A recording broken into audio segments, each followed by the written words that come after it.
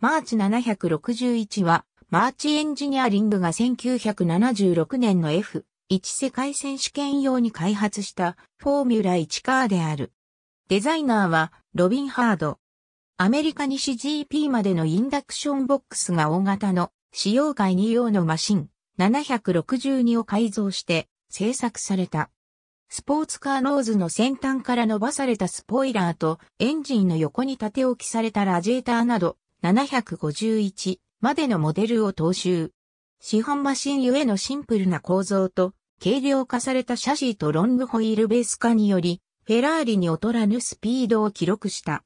第4戦スペイン GP からはレギュレーションの変更に伴いインダクションボックスが小型化された。シーズン終了後に1号車をベースにして製作された6輪車、2から4から0が発表されたが、数度のテストが行われたのみで、実戦に投入されることはなかった。1977年は、回収型の761バイトが登場した。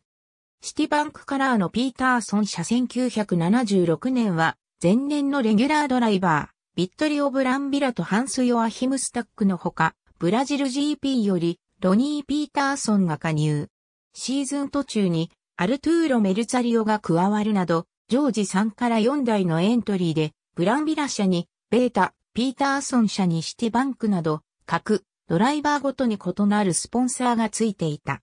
ピーターソンがオーストリア GP でポールポジションを獲得、イタリア GP で優勝。スタックが8ポイントを獲得し、マーチはコンストラクターズランキング7位に入った。1977年仕様の761、ウィリアムズから出走したベル、ベカラーの761-1977年は、ワークスチームとメルツァリオ設立のチームメルツァリオが761B を使用。前年型の761はウィリアムズなどのプライベートチームが購入して出走した。このうち、ウィリアムズのマシンはイタリア GP で、スポーツカーノーズに変えて、ウィングノーズを装着するなど、独自の改造を施していた。ワークスチームは、エースドライバーに、イアン・シェクター、セカンドドライバーに、アレックス・リベロという布陣で、シェクター車のスポンサーは、ロスマンズがついた。シェクターは、オランダ GP から、新型の771に乗り換え、リベーロは最終戦日本 GP まで761B を使用した。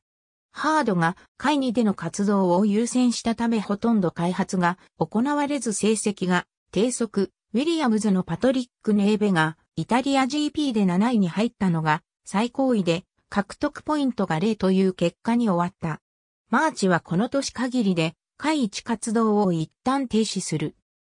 ありがとうございます。